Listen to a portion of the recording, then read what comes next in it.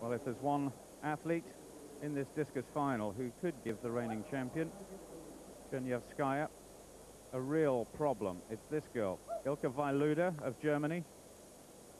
One of the longest throwers of all time, but uh, has had a few losses this year in terms of competitions against some of Europe's best, because this is an event where Europe have been dominant for many years. The Chinese, somewhat of a threat, but we don't have any Chinese athletes in this final.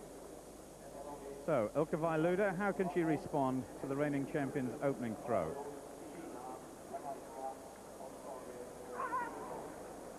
Really whips that arm through very quickly indeed. Just short of 65 metres, though.